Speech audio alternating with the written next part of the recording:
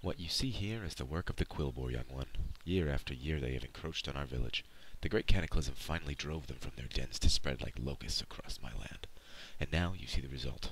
My own mother, dead from their savagery. Today you are of age. Today you will take up your weapon and fight for the tribe and avenge the Great Mother. Follow the path to the east and find my son Gruul. He will lead you in our strike against the Quilboar. Gruul was the name of a raid boss in Burning Crusade. That's odd that they would name Hawkwind's son after him. So I did play Tauren a little while pre-Cataclysm, back in the... before they did all the revamps of the questing zones, and I think that the mother he's talking about was that woman that always hung out by the fountain. And that's such a shame that she died. She was very helpful. She was a nice lady. So I guess we're going to be taking up our weapons against the Quilboar today. I can see him over there fighting off all the town guards. Funny how nobody ever dies in these fights. They're, they just, they just all live forever. That must be nice. So this is Hawkwind's son Gruul, not the Dragon Slayer. Welcome to your first true test as a Tauren. Be careful. Behold, Scorn, the very presence of the bristleback is a blight. Nothing is left in their wake but corpses and barren land. Camp Narache could become what we see here in but a few days unless we stand and fight. This will be your rite of strength. The first ceremony of the Tauren Brave. Go into the heart of the Thornsnarl and kill Bristleback Quilboar. Then return to me. Absolutely. So I do have heirlooms, and that means that this is going to be considerably easier. Uh, I'm not really doing this for the challenge, I'm doing this for the story. So, for now we're going to be playing Elemental until we can choose a spec, at which point we're going to be going Enhancement, which I have significantly better gear for. And we'll play Resto in Battlegrounds or in uh, any dungeons that we delve into. Just because healer queues are better, and it'll probably be easier to commentate and really show off stuff while I'm healing and not having to worry about really anything. So I guess we're gonna go out here, we're gonna kill some of these goddamn Quilboars. These guys are encroaching on my land. Oh, I, it's like... It's like a bunch of pig people fighting a bunch of cow people. Like, if we were on a farm, and there was a war on the farm. Like that book. There's a book about an animal farm. It was like an allegory for war or something like that. That's a lot like this is. Alright, and just like that, we have already hit level 2. Because I think we have something like a 35% experience bonus, which is not going to matter if I hit all the zones. I will outlevel them very fast. Uh, so I'm not too worried about my levels and my XP. Uh, I haven't leveled a shaman in a very long time, so I'm very excited to see what sort of new toys and talents they have How may I aid as we level up. These rewards don't matter. I have a little bit of gold from one of my uh, other characters on the server who is Horde, but all my mains are on the Alliance as of now. Despite their size, the Bristleback greatly outnumber us. A pack ambush can easily overwhelm even the largest Tauren. Many new initiates have taken up arms to defend our home. Some have given their lives, but others have been captured alive. Please, find their cages and free them. The battle should keep the Quilboar distracted. farewell? Okie doke. So I'm back into the heart of the fight, and we're gonna go save some of our brothers. I don't like this. I prefer this map. It actually, I played for probably five or six years before I realized that you could do this to the map. Um, and I know this was a feature that probably wasn't in the original game, but if it was, I feel like a moron. This is so much more helpful. So do I need keys, or is this just go on and click and open? I don't need keys. If only they could all be like this. I, I hate doing the quests where you have to find keys to open cages or some sort of quest where you have to find items to do something else, and those items just never drop. And all those prisoners are just staring at you from the cages like, please, you, you let us out? And I just have to sit there and be like, no, I have to kill these guys until one of them has a key. And they're like, but these cages are made of wood and little bits of rope. Surely you could just... I think, no, guys, need a key. doing this right. Plus, this is more XP, and they, they just get all very confused. Because they don't know what it's like to be a true RPer. Uh, that was the first time of many I'm sure I'll do that. I often just open my inventory or my character screen, or my talent page when I get that, and I just look at it. I don't really pay any attention to it, and it doesn't really matter, but I do it a lot. We've struck a great blow against the Quilboar here. I will stay here and hold the line, but you need to move on. Seek Adana Thunderhorn. She has taken a few braves to the southwest to root out the rest of the bristleback. Okay, so southwest, yes. We're seeking out Adana Thunderhorn.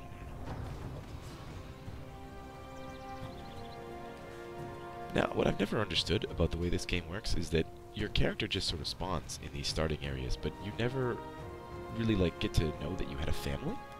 And that's always kind of disturbed me with characters that I leveled. They never had a family, no brothers or sisters, no parents to avenge.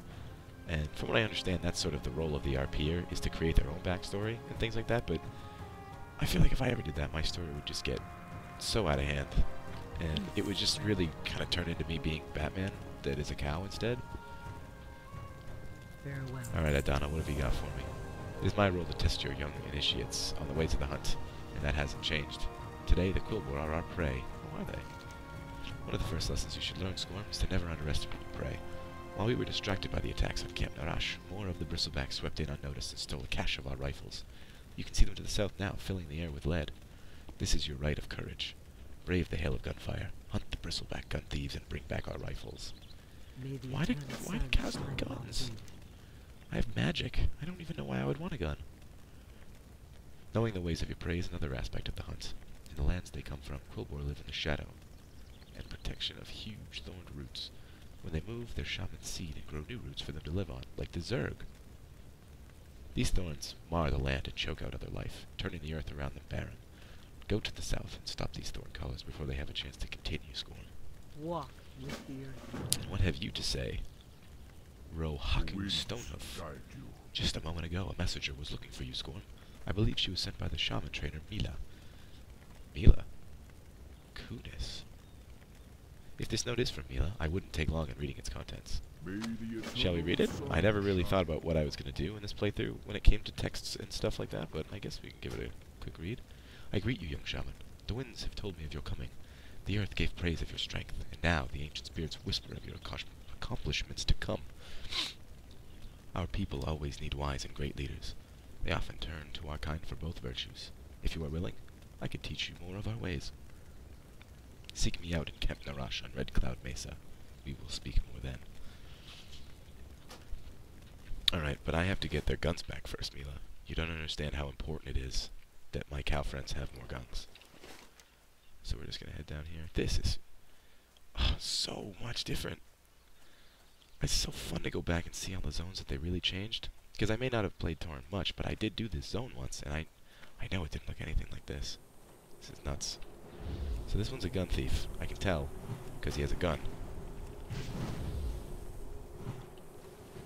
And now he's a dead gun thief.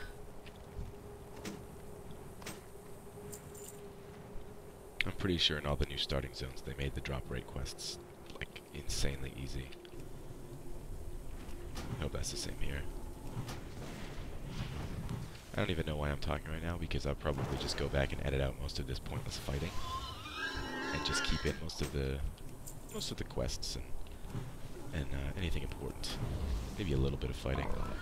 But you guys don't really want to sit here and just watch me spam Thunderbolt on these guys all night. Can I move yet? No, I'm not elemental. Okay. I have never had this much difficulty killing these things. This much heirloom gear before.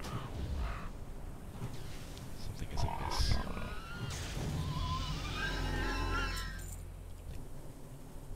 Does this even cost mana? Like, oh, I got an ability. Primal Strike, an instant weapon strike that causes 20 additional damage. So I guess I could theoretically. Oh, hold on. I actually set this up. The gear set. Oh, yes. See, this is my gear for my enhancement. I love, love, love, love this bright purple vest thing. I've never used the mail um, uh, BOEs until now, and that is just amazing. Oh, what a cooldown. I don't, know. Until I get dual wield, it might just be better to cast. Uh, I don't know what this lag is from. I've never actually recorded anything with this uh, gameplay, so I don't know how it's actually going to affect my machine. It shouldn't. But you never know. We'll find out.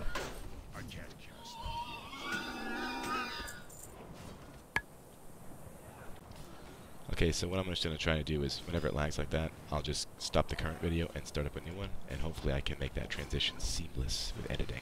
This isn't what I want. These are what I want.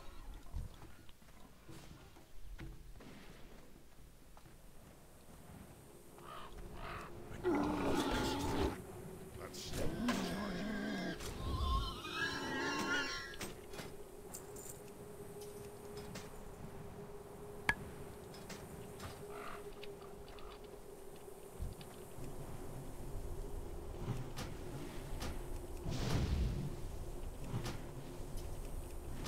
What in the world is casting on me right now?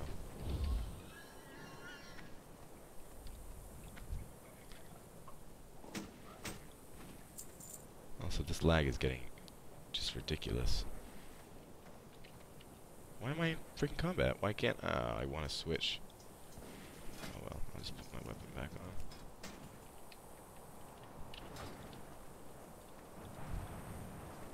I hope this lag doesn't show on the video, but I know it will.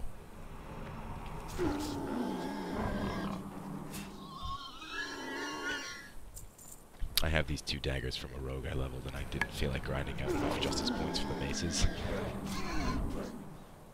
I figured the daggers will work just fine for my purposes. It's not like any of this questing is going to be difficult or you know, DPS dependent. I'm sure it will be fine. I don't like this cooldown on this very basic ability.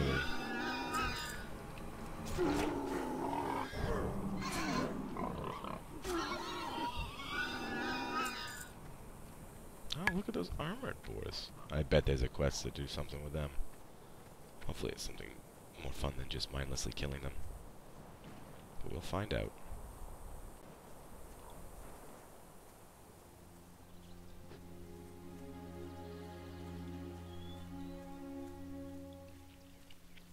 This is the part I'm probably just going to cut out. All this walking around. Especially without a mount or ghost wolf is just oof.